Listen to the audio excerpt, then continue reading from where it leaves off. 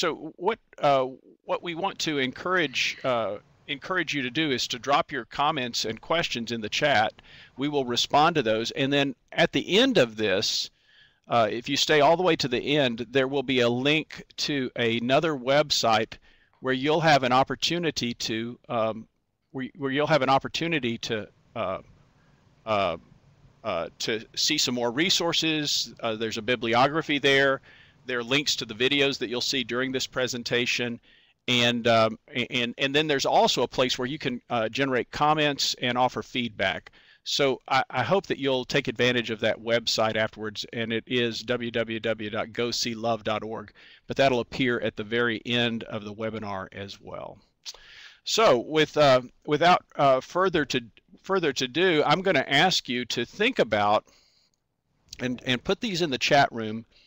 Uh, what are the things that you see happening in your own community right now and in your own community of faith that that tend to be uh, inward oriented that, that that consume the time and attention of of leaders of leaders and laity and clergy in the church uh, that prevent or inhibit the church from uh, from being as outwardly outwardly oriented and as as uh, deeply connected in its community as possible. What are the th- the blockages that you're seeing happening in your church? And just drop those into the into the chat room.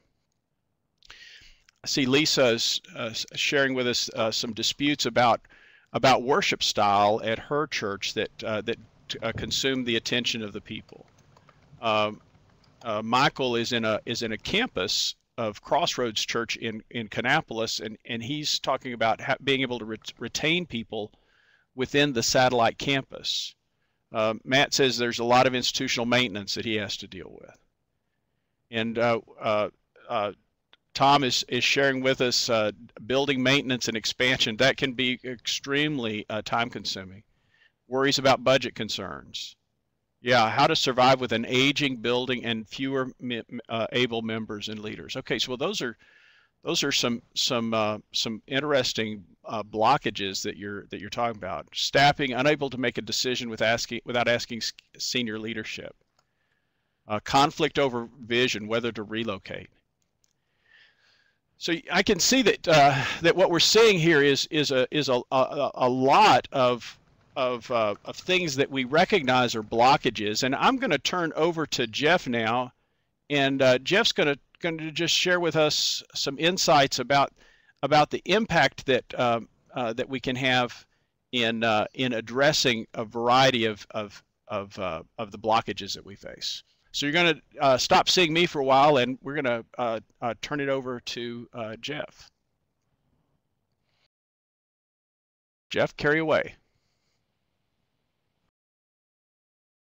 Well, good morning. Um, one of the things that we're going to do uh, I just is to just remember that um, it makes a difference what we do as individuals, and to really now you're and to really drive that point home. Um, you're, you're, we're going to look at a, in and out with a us, video Jeff. clip about a, a, young man named Johnny, Johnny the Bagger, and um, I think this video clip really helps us remember that it is all about. I'm not.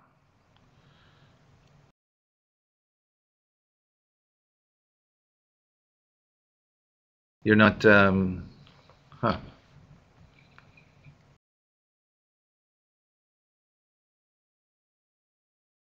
Well.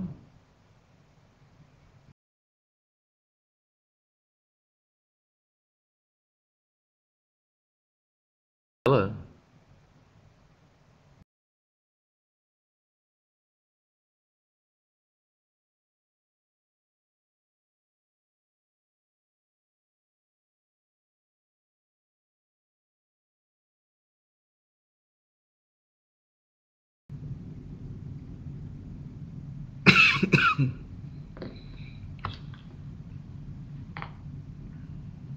well, uh, Steve, are we still there?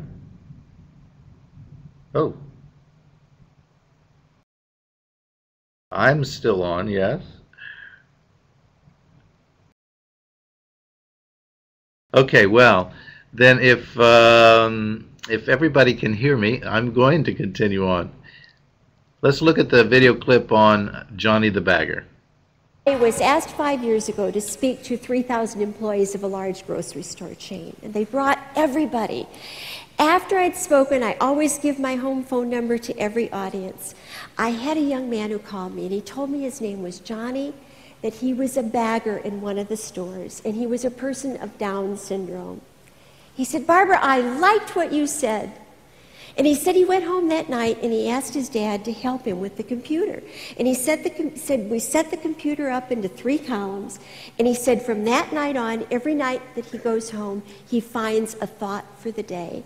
And he said, If I can't find one I like, I think one up.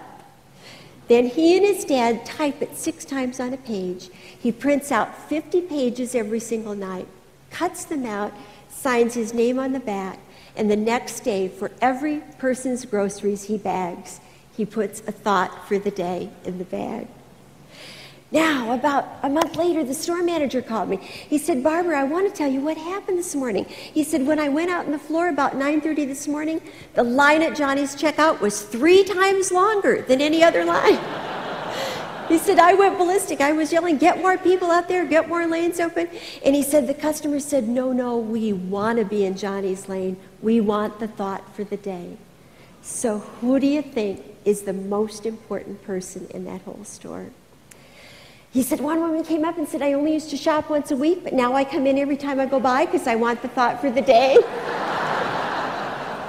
He said, three months later, the store manager called me back again and he said, Barbara, you and Johnny have transformed our store. He said, now in the floral department, when they have a broken off flower or an unused corsage, we used to just throw them away.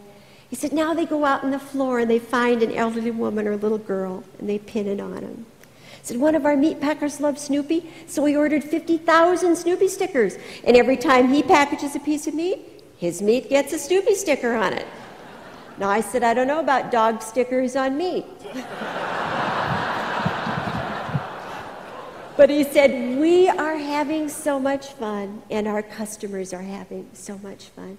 And folks, that's a true leader. And if he can do it, there is no reason why every one of us in this room and out there in our audiences can't do it. Thank you. God bless.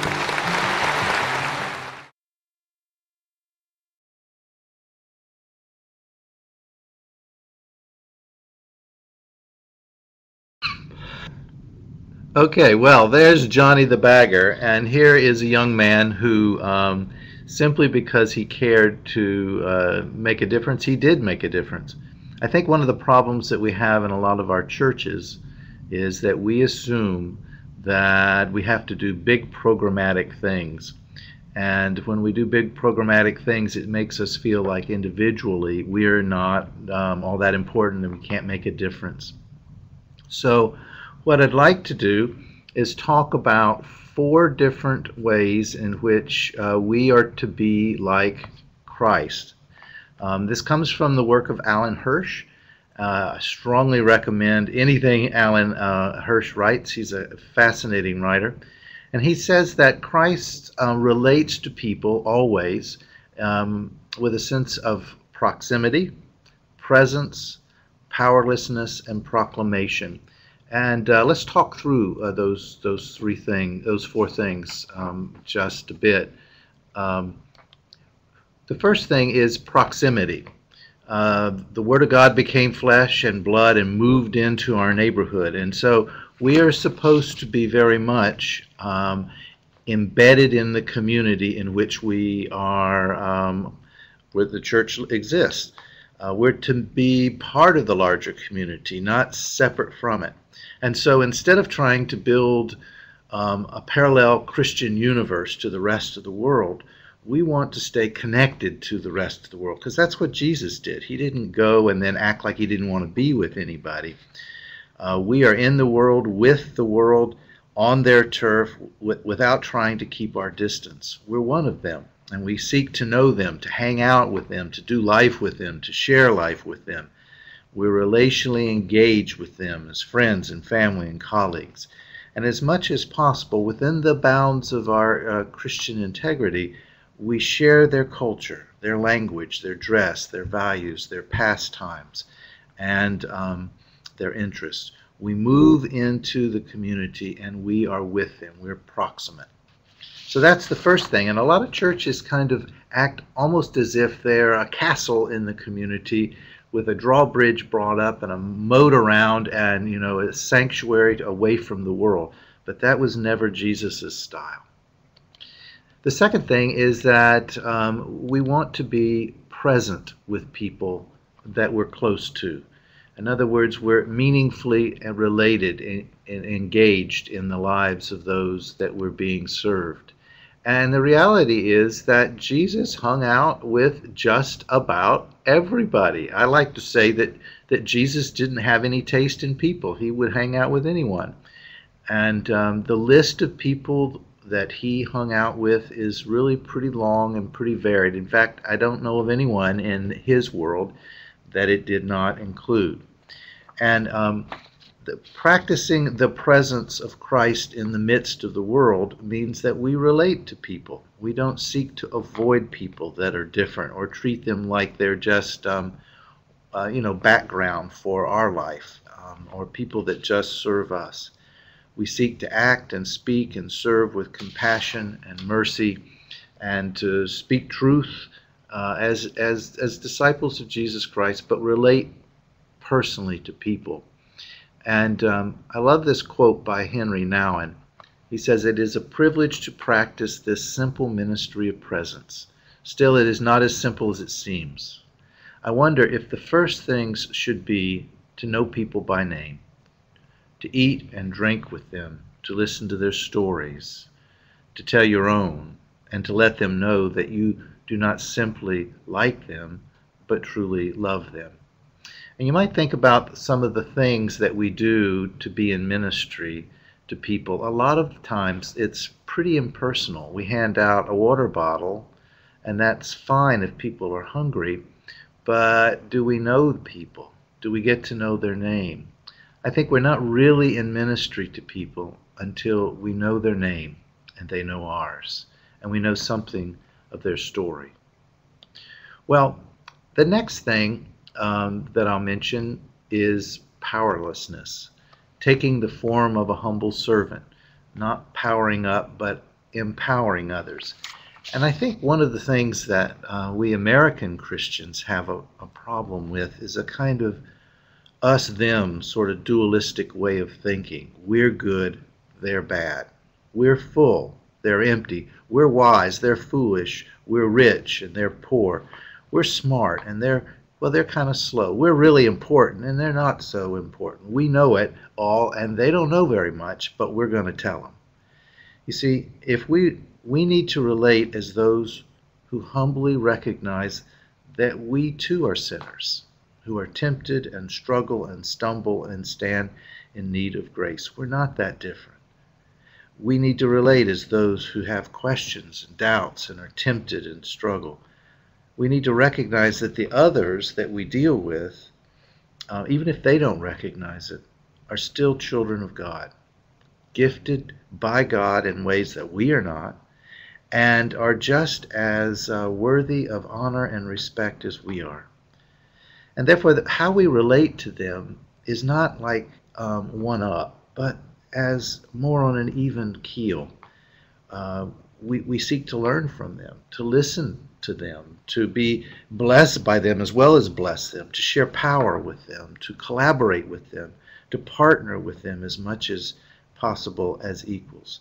And so we let ministry be one of mutuality and, um, and a kind of two way flow uh, rather than just one way. For, for blessings to be offered and received, and community to really be genuine, but um, like between brothers and sisters, not moms and kids and dads and kids. I think of all of these, uh, the powerlessness may be one that I work on the most. How do I enter into um, how do I enter into relationships with people that don't presume with a sense of arrogance that I'm the powerful one, the full one, the whole one, and everybody else is um, less than that. Okay, and then the final thing is proclamation. And uh, that really just uh, means that, you know, when we enter into people's presence, relate to them in this uh, Christ like way, there will come a time when, when they're going to want to know why do you do that? What's different about you? And we need to be able to share um, what that means uh, with them. We need to be able to share, for example, what God is up to in the world and how we're part of what God is doing in the world and how they can be part of what God is doing in the world with us. So if we think about our ministry um, at a local church level in terms of these four P's um, proximity, presence, powerlessness, and proclamation then they really provide kind of lenses to help us uh, be more Christ like in what we do. Well, and now um, Steve is going to uh, talk about uh, a very helpful um, model that's called the the College of Ministry, I believe. Graduate School of Ministry. There we go.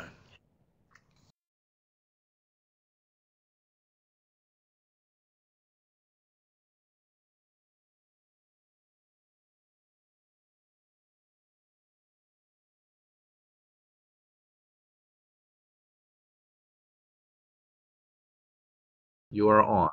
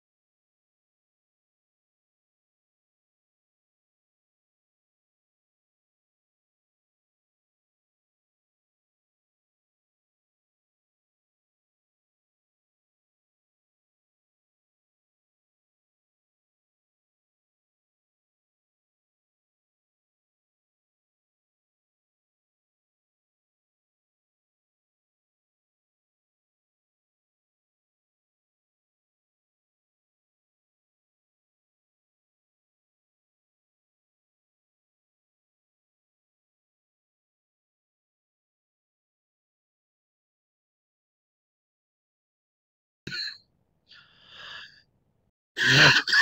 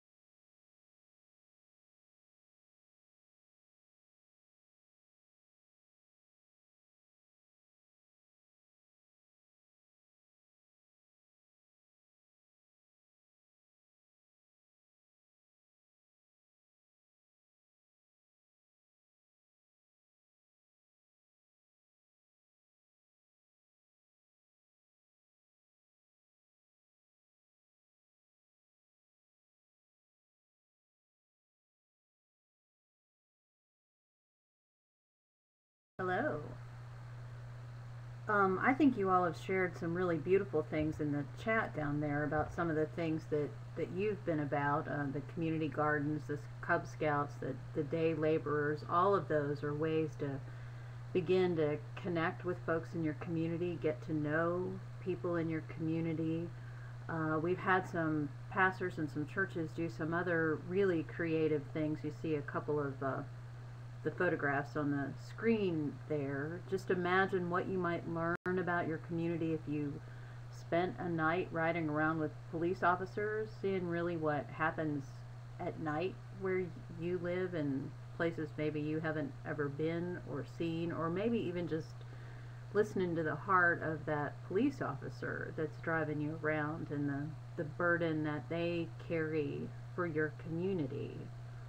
Or um, imagine what might happen if you just observed in a courtroom for a day, the things that happen in there, the stories that are told, the, the pain, um, the difficulty that goes on in people's lives in Scripture. Um, somehow Jesus was able to see into people's lives in a pretty powerful way and taking opportunities to go to some of these places might give you an opportunity to sort of see the world and your community with those eyes that Jesus had and have that passion for the crowd, for the people around you that Christ might have.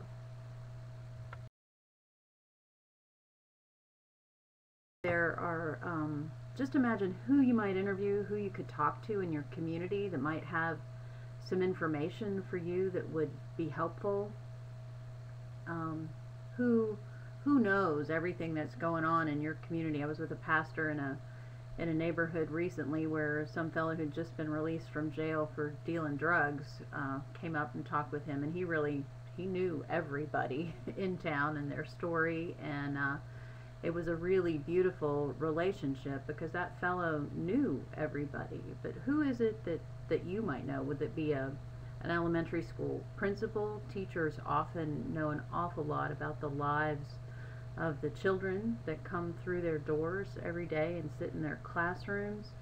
Um, who is it that, that you would know? Or maybe someone at the local gas station. They get to hear a lot at those uh, counters, maybe almost as much as a bartender in some places. Or maybe there's a bartender somewhere that could tell you a lot about the needs, the hurts, the people that are challenged in the places where you go. Uh, and maybe you could just take a prayer walk around your neighborhood. It's surprising how open people are to being prayed for and with. And if you just walked around your setting for ministry with a prayerful eye open to your community, you'd never know what the Spirit might open up in your eyes or in a relationship or in a life of someone who is around you. For a pastor who's trying to develop a relationship with a community,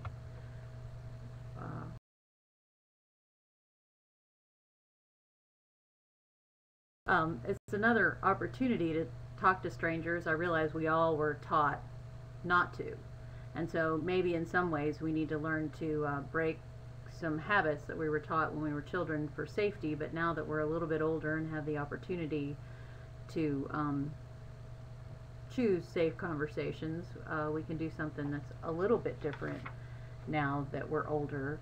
Um, there's a neat video that talks about how to meet strangers, how you can just engage in a conversation and just let the conversation be the point. Um, it's not that you have to preach for conversion in that moment. Uh, it's not even that you have to invite them to your church, but just engage in a conversation to see what someone else might be able to teach you and enjoy the meeting. Um, this video will give us an opportunity just to learn a little bit more about how to meet strangers.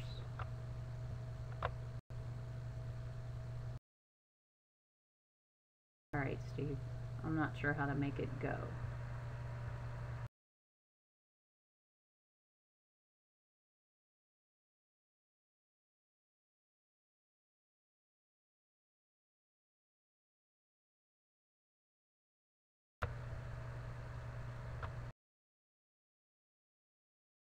The trick to making the video go, Steve?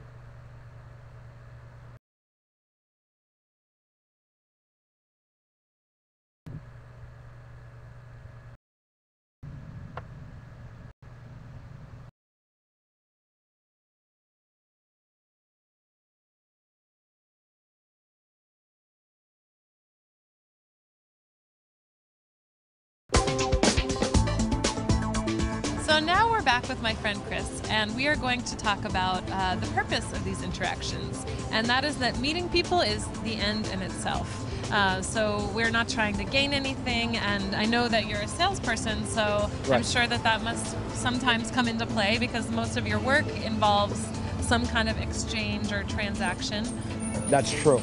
So I want you to go out now, and when you approach people, I want you to just think about having the exchange be the point. So you're not trying to get anything from them. You're not thinking about something that could happen down the line from this interaction, but just to have the, the actual moment be the whole point. Does that sound good? Yeah, that sounds great. All right, great. Okay. Ever been to like the bottom, like Kosh?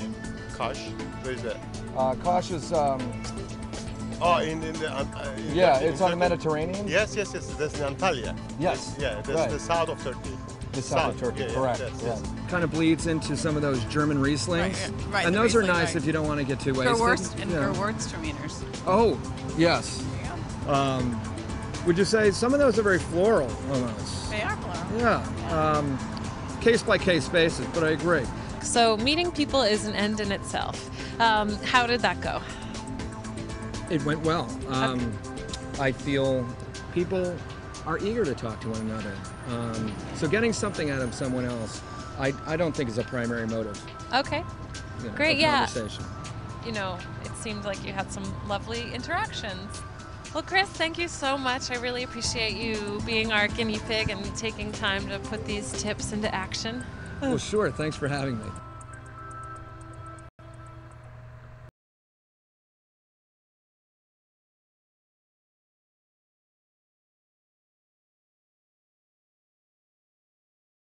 So, what could you do if you took the opportunity?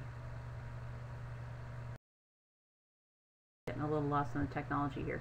If you took the opportunity to just meet people as an end in itself, and if you had to gauge the amount of time that you spend, say on a weekly basis, just meeting people, I wonder how long you would estimate that you do. Um, it didn't take long to generate that list at the beginning of our conversation about all the things that um, keep our attention in the church and everything from um, you know debates about worship to building and maintenance issues and administrative kinds of things. But if you had to figure out what you do with your time, could you say that as much as 20% of it Otherwise, it'll is start spent echoing. just meeting people, If you t- tell me, just having conversation? That, are you getting an echo from me? hello. I hear you, Jeff. This is Steve. Can you hear me? There's Steve. Yeah. Yeah, I had to Mhm. change computers, so uh,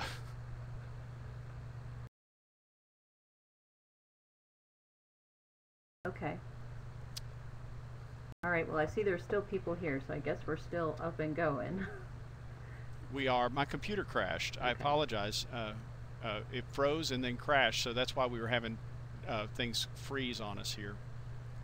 Okay. But I'm on another computer now, so I, I won't be. You won't be able to see me, but that's probably a blessing for everyone uh, to not be able to see me. I don't think so. So I'm seeing comments that uh, that people people are spending some time out in out in the world meet, meeting people, and um, uh, but uh, but aiming towards 20% sounds pretty pretty intense. What do you think about that, folks?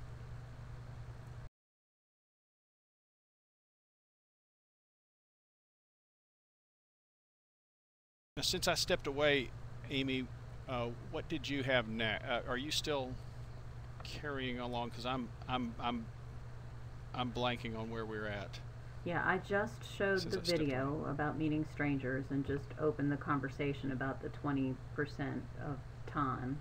Oh, great. and um, people are I think have some some really good comments about you know where are the people where would I go um, you know I only spend an hour could you double it is twenty percent seems like too much could you double it to two hours somebody just said that a baby makes it easy to meet people and having been a new mom I know that's true everybody wants to ooh and ah over the baby um, we have a, a pastor in a in a very rural place in West Virginia who's taken his laptop to McDonald's and they have free Wi-Fi. So he just sort of sits up there and he does some of his um, sermon prep and he's got a sticker on his computer that indicates something about Christianity. I can't remember what it says.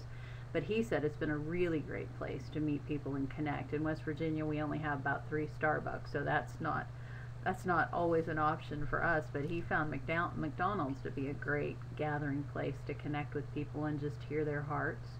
Somebody takes walks on Saturday afternoon.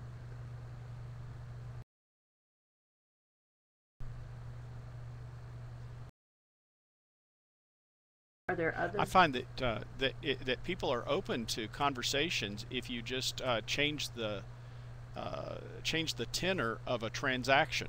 So uh, uh, sometimes people do that with me. I was at Panera Bread the other day, and the cashier uh, took my card, and I was really impressed because she took my card, and instead of just swiping my card on the cash register and, and making a charge, she she instead asked me how to pronounce how I pronounce my first name and so I, I talked to her for, for a few minutes but what was surprising about that is that it broke us out of the transaction mode Mm. so i actually saw this person as a human being she saw me as a human being and uh, and and now she uh, calls me by name when i come in well she's probably trained to do that at panera but the point is is that people are open to conversations with you if you just will uh, will kind of change the tenor of the transactions Mhm.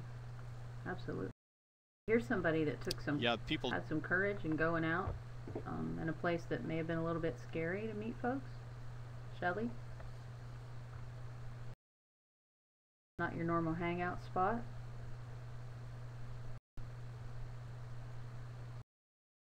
That's great, asking people questions about themselves. And I think the the video sort of said that too. It was um, just sort of questioning about what people liked, where they wanted to go.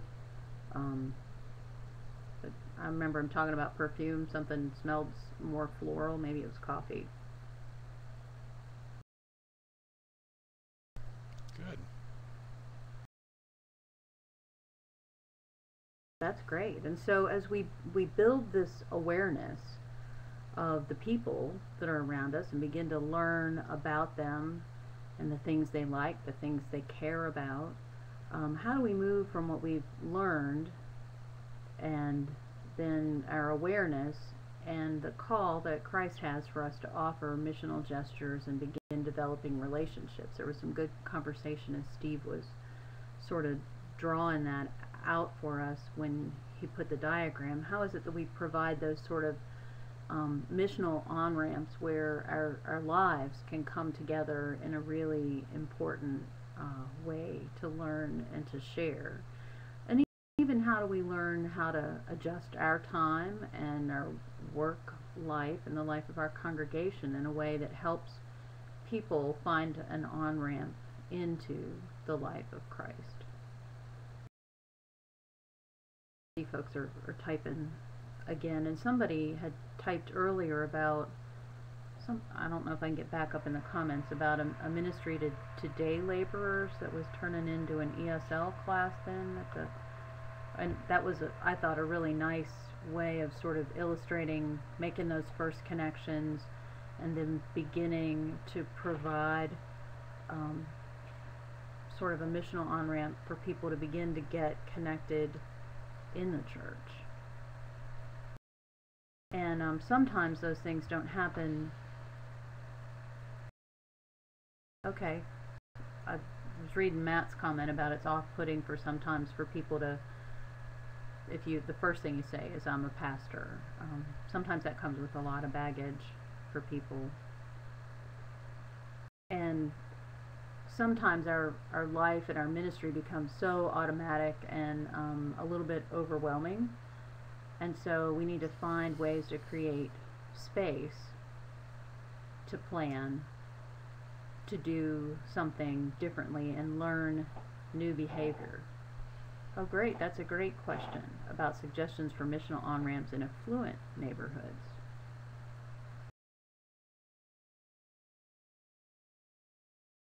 Yeah, uh, you know, uh, uh, affluent people have have needs too, um, and and one of the things that I've discovered when I was at, at Myers Park is that the things that I was I was kind of naturally uninclined to do, I had to force myself to do.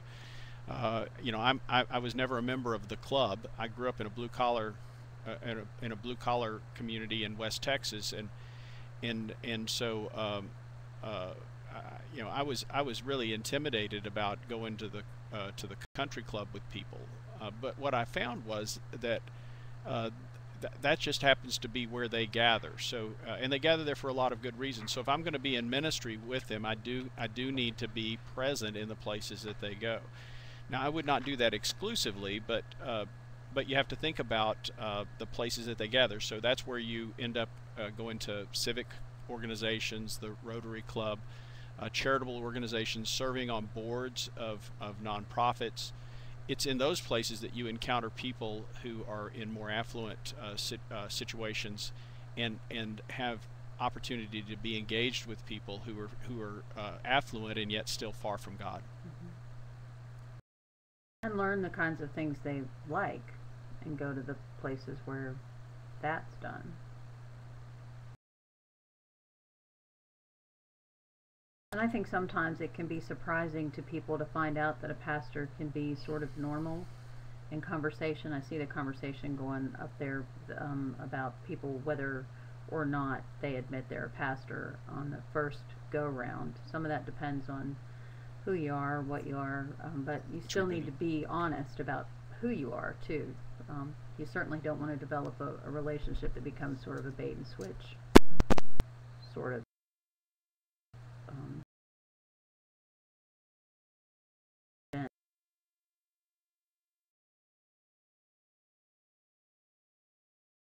either.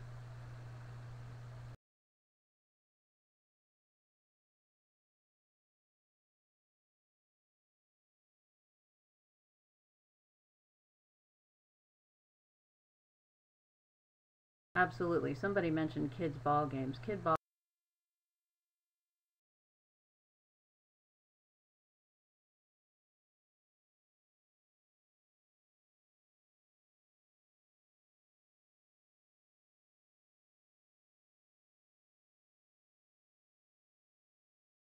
games and PTA meetings have been some of the places.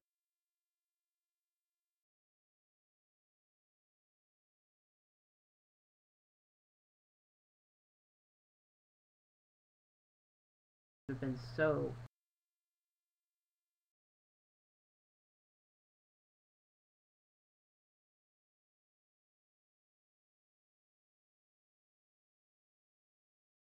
powerful for me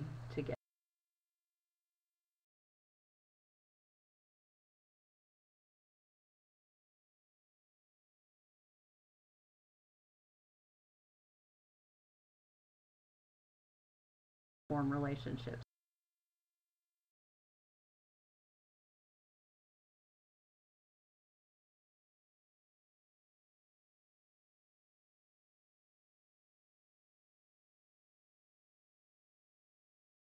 You're sitting on the soccer sidelines.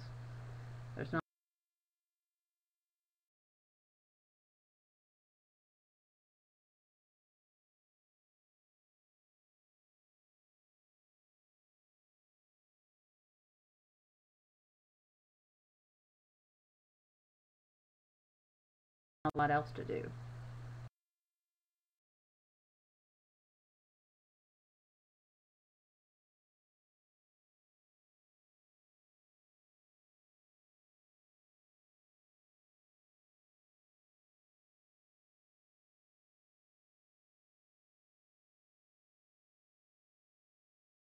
And that's a great question about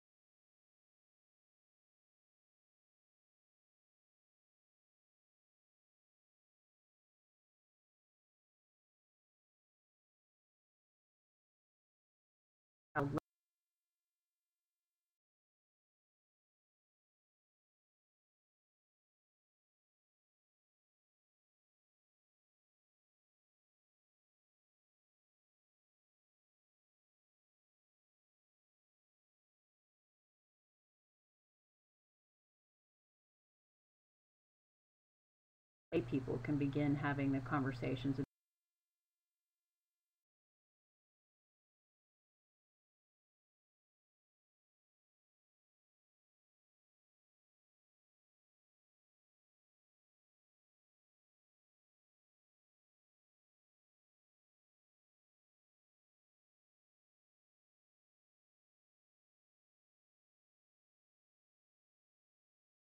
begin to understand how to behave differently as well. We had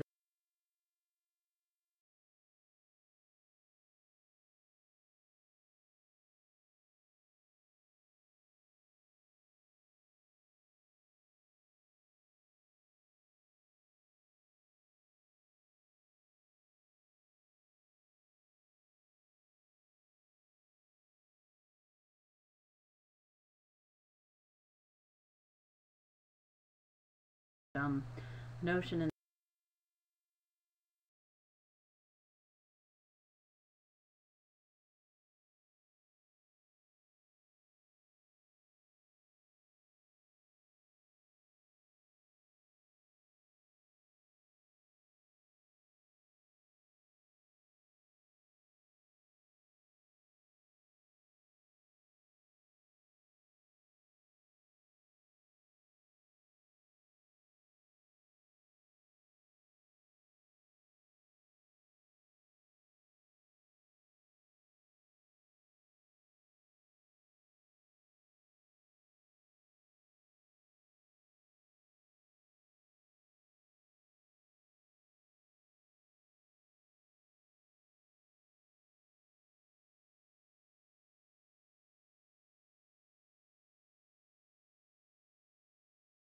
church that uh,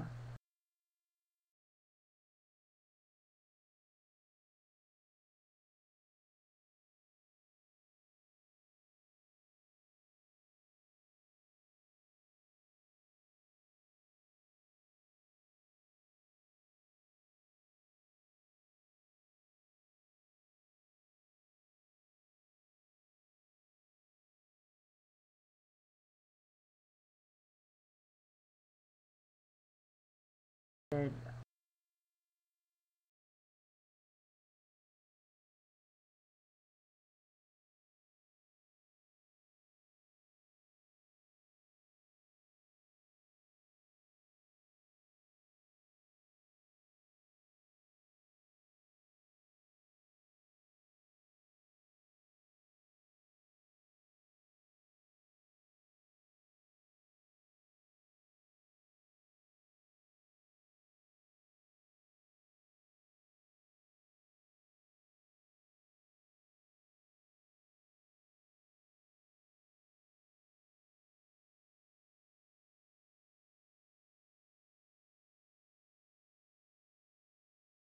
I am back. Uh, can you hear me?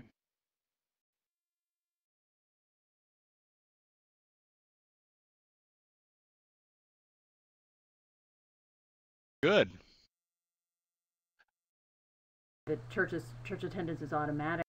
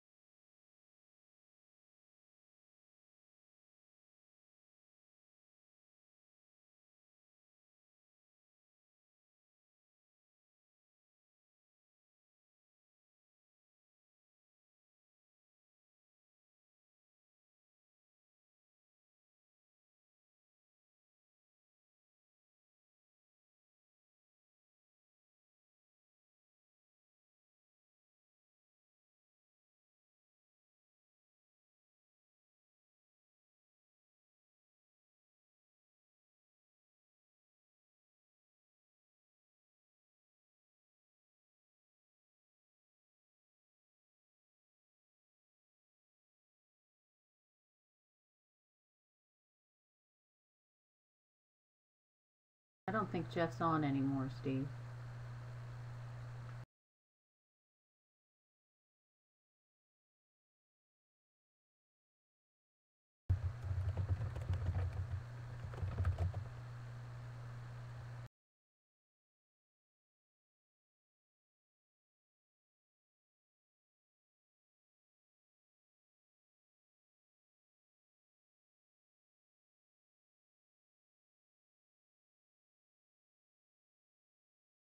You still there, Steve?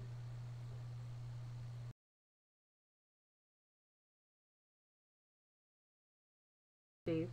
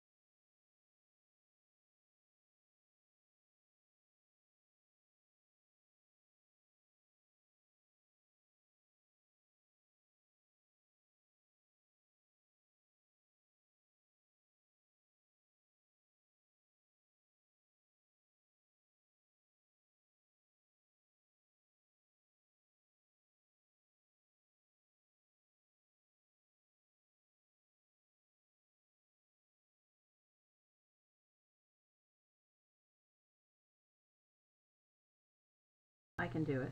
Yeah, I can do it.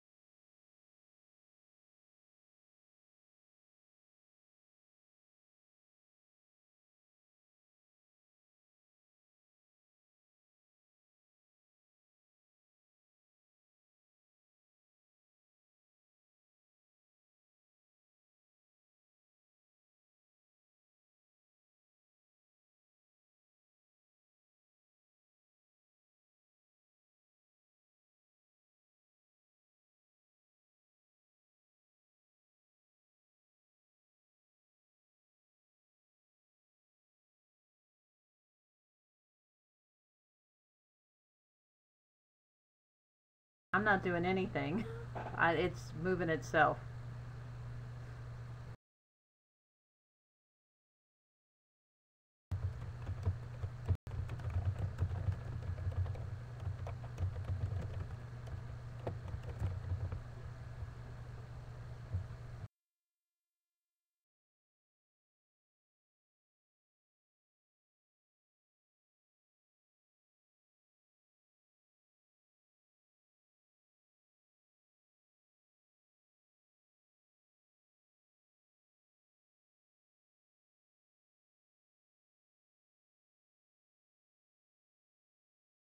This is the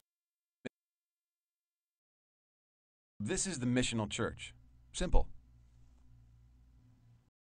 In the past, churches have spent large amounts of resources to construct the most attractive places imaginable for the community in which they were situated. Great music, compelling teaching, and a host of programs designed to gather people together were the staple of such church communities. This is the missional church. Simple. In the past, churches have spent large amounts of resources to construct the most attractive places imaginable for the community in which they were situated. Great music, compelling teaching, and a host of programs designed to gather people together were the staple of such church communities. Anyone who wanted to come was welcome, and church members were encouraged to invite their friends and neighbors. Generally, people had a pleasant experience. The people who came and were cared for seemed relatively similar. Education, income, pastimes, race, struggles, and histories seemed to be almost identical. Eventually, someone asked the question What about all the people who aren't like us, but who live around us? Why aren't they here too? In response, the church increased its marketing budget, direct mailing the community, taking out ads in local papers, buying radio time, releasing a fresh web page, and offering to host the world's greatest event. The church was determined to be the center of everything great that happened in the community. Church members began to rely on the church to do the work of conveying God's story in the world. If someone could be brought to an event, they could hear about Jesus from a professional teacher. Inviting people became synonymous with evangelism. The missional church, on the other hand, empowers its members to be the church in the community. The church trains, resources, encourages, and challenges its people to live out the good news in their community with those who would otherwise be suspicious of a church and its marketing efforts. The church sends out its members to live among people unfamiliar with church customs, songs, and what it holds sacred, just like a foreign missionary. The missional church recognizes then that every believer embodies the life of the church in their neighborhood, in their school, or at their place of work. Each one of them telling God's story in the context of compassionate and genuine relationships.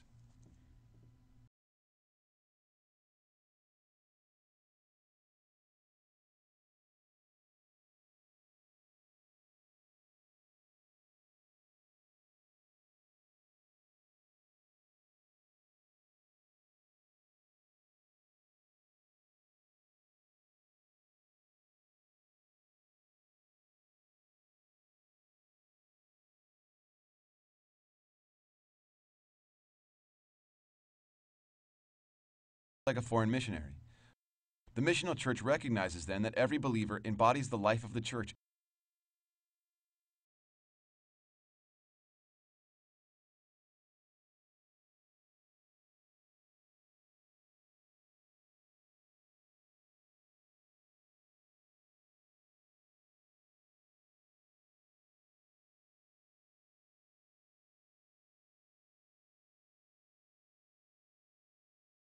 place of work. Each one of them telling God's story. God's story in the context of compassionate and trying to get. This is the missional church.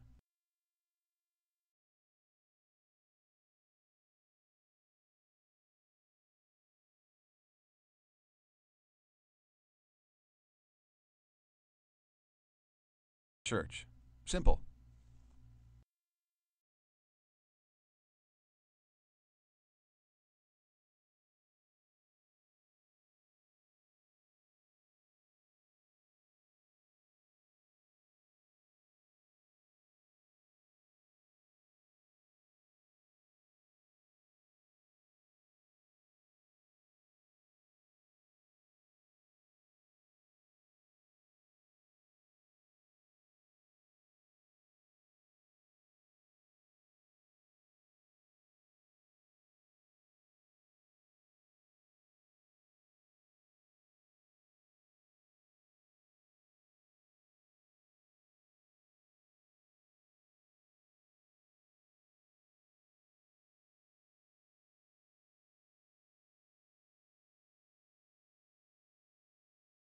Back, Steve?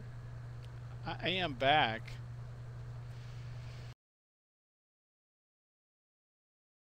Um, can you hear me? I'm showing I'm showing that my my audio is coming up, but can you hear me? Yeah, I got you. Okay, you can't hear me. Okay. All right, folks. Uh,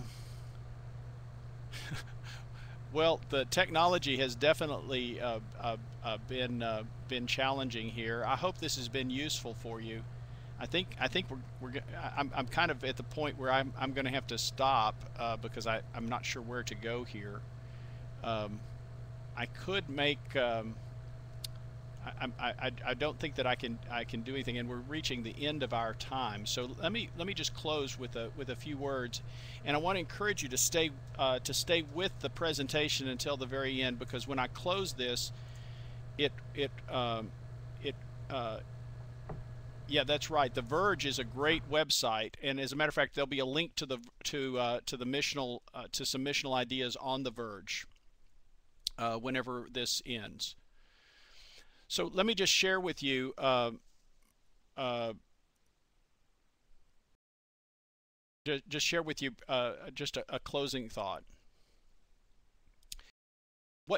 What what we're hoping for in this in this webinar is just to point you in the direction of of of, of pursuing this and, and to encourage those of you that are already involved in this uh, to to to to not to not lose heart. Because I, I believe that God is at work in a in a powerful and beautiful way in these in these new um, uh, in these new missional uh, initiatives that folks are taking. And the things that you're describing in your chats uh, in your chat are exactly the kinds of things that, that are giving me hope that the that the church can be transformed. But it, but the, the, if there's one thing that I take away from this, that this is about relationships rather than programs.